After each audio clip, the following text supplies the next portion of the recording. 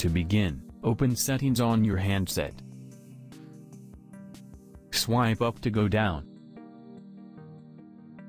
And find Notifications. Tap on it. Then go to Do Not Disturb. If you want to turn on Do Not Disturb immediately, just tap the slider on.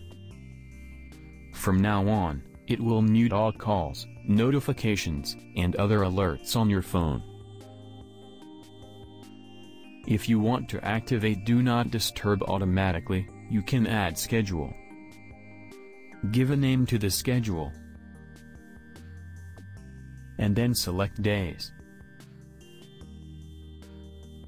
Start time, and end time.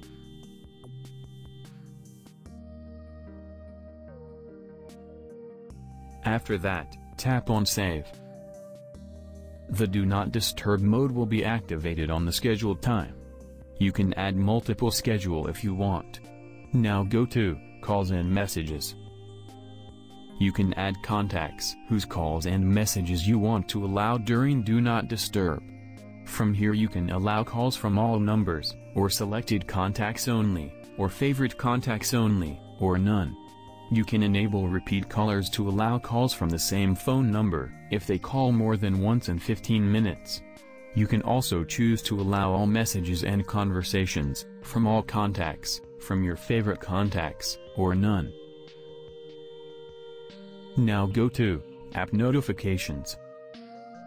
From here you can choose the apps, which notifications you want to allow during Do Not Disturb mode. Now go to Alarms and Sounds. When Do Not Disturb mode is turned on, all sound and vibration will be muted, except for the items you allow above. And finally go to Hide Notifications.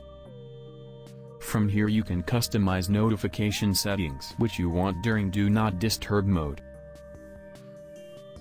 If you want to turn off the schedule for the Do Not Disturb mode, tap the slider beside it. So in this way, you can turn on and use Do Not Disturb mode on Samsung Galaxy S24 Ultra.